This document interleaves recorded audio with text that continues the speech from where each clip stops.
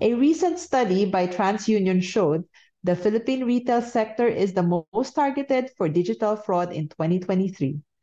The report said the retail sector had a suspected digital fraud rate of 11.8% last year.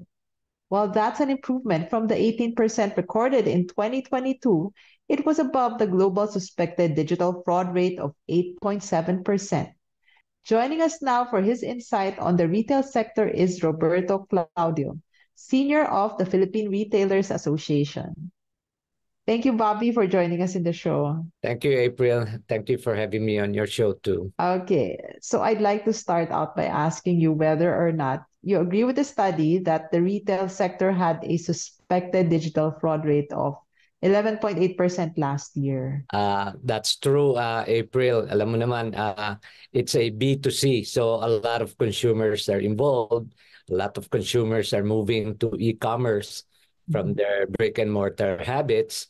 So the tendency is yes, really because of the increased uh, transactions in the e-commerce side, fraud is has really been uh, proliferating both from the source of those who are selling and um, sometimes even from the customer side. The the fraud uh, cases are very very uh, rampant, especially uh, in the cases where there's a lot of phishing, you know, you have uh, customers. Mm-hmm.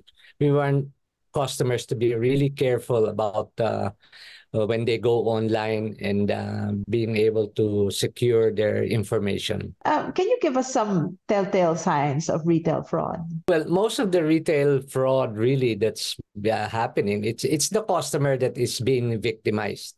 Mm-hmm. you see, the, the the situation with so much influx now of customer moving to e-commerce mm-hmm. simply for we agree it's more convenient it's faster get wider selection and even better prices but the problem is you know uh, on e-commerce there is very little regulation uh, in fact this is our issue or concern that we'd like to raise with the department of trade and the government about uh, promoting e-commerce for foreign retailers benefit.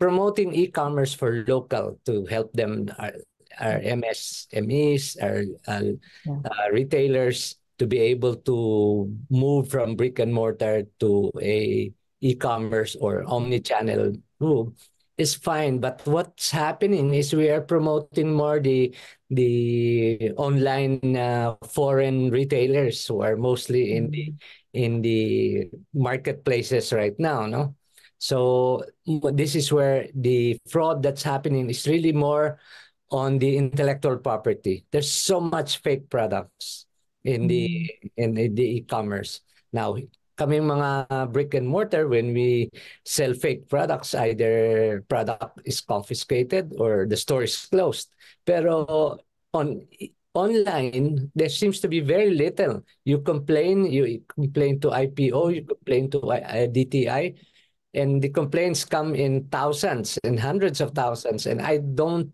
think they have that manpower or enforcement capability. So that's where most of the uh, consumers are uh, defrauded, especially when it comes to consumer protection, pahirapan you know, it makes it difficult yeah, yeah. To, uh, to return and get a replacement or a shipment that you ordered did not, uh, was not yeah. the one that arrived and you want to complain, very difficult to complain.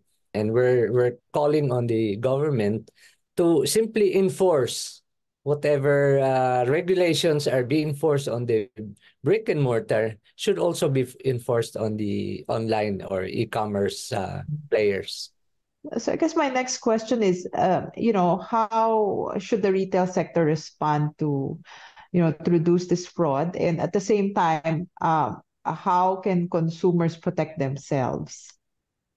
Okay, from the ano, from the from the uh, retailer side and the and the sellers, um, I'd like to introduce here the the, the uh, I'm being also the president of the GS1 Philippines. This is the entity that the, uh, gives out the barcodes. So if you notice all products now have that black and white lines barcode. We're moving out of that kasi the only information that that gives is a product identification. So if a a Coke, uh, a certain product uh, has a certain barcode, it just tells you what that product is, what the brand is, and what's the size. But the new barcode, which will start in 2027, will be will have more information, and we're moving to the QR code. Now, this is very important in in terms of uh, giving consumer protection. So Amazon has started to put products in their marketplace that carries GS1 uh, barcode. Uh, they call it the two-dimension barcodes.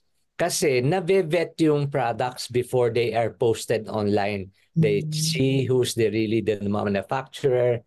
Do they have the the the intellectual property rights on that brand? The formulations are properly and even traceability.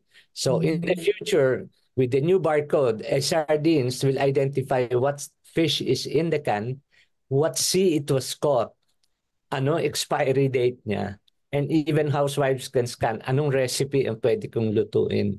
So mm-hmm. it gives more uh, credential to the brands wow. because they are vetted properly and mm-hmm. counterfeits or products do not conform to certain standards are not even posted online.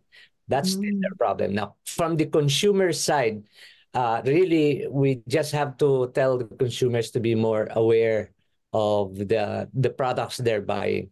If it's too cheap to be good, chances are they, they are too cheap and there's something wrong with the product. So if we just rely on current technology, I mean, what can be done already to detect and prevent retail fraud? If you know, just right now, well, you know, that's still a 2027 issue.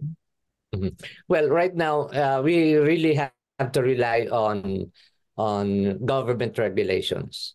And, and the problem with the fraud being rampant is there is very little, uh, I must admit, very little, or the government is not prepared yet to uh, to administer the necessary enforcement to make sure that the consumers are protected. Uh, this is our main concern now. Uh, mm-hmm. so much, uh, so much uh, effort by the government to to move Philippines to digitalization, Philippine business to digitalization. Uh, to the point that uh, foreign marketplaces are, are teeming in the Philippines. They're taking advantage of the Philippines. Mm-hmm. Temu, Shein, TikTok, Facebook, mm-hmm. Lazada, Shopee, lahat And if you look at their product uh, line, 90% of the products are not coming from the Philippines or from Filipino manufacturers. They're mostly yeah. foreign, yeah. diba? Foreign products. So, uh, what and then on top of that, these products do not even pay VAT. That this uh, online because they're not subjected to VAT yet. Uh, recently, the BIR came up with a one percent uh, withholding tax that will be imposed on all uh, foreign merchants on all uh, marketplaces. But uh, April, 1%, kami yung mga brick and mortar, nagbabayad yeah. 12%. So uh, you're not competitive on the pricing. It's competitive, oh. and on the con- and and on the contrary, they have created an unlevel playing field that's gonna kill a bigger industry. Remember, the bigger industry is the total is the total retail industry. Coming brick and mortar comprise 75% of total retail, not only in the Philippines, but worldwide. So what we're saying is, you know, let's be, ano naman, let's be careful because we are giving giving the Philippine market to foreign retailers who are not even paying. So, yeah. tutulungan natin, bibigyan natin sila ng opportunity to take advantage of our market, but the government is not earning revenue. 1%?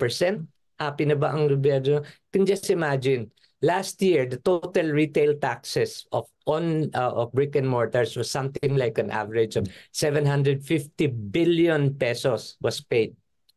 I challenge BIR, uh, the Department of Finance, to give us figures. How much have they derived in tax of, in terms of tax revenues from all these foreign marketplace uh, yeah uh, foreign, online retailers online retailers yeah. in our marketplace uh, i'd like to see the government um, uh, beefing yeah. up more on enforcement okay so with that thank you very much for your thoughts sir bobby on uh, you know, uh, retail fraud and how we can address it uh, from a gov- from the government side, and also as consumers, how we can protect ourselves.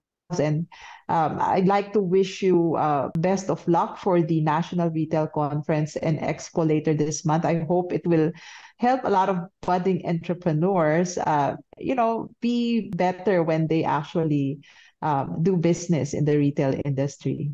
Thank you, April.